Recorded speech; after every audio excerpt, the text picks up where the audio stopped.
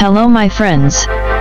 Welcome back to my new how to make a Sonic game in Roblox Studio video. I hope you enjoying this video and let's get into it.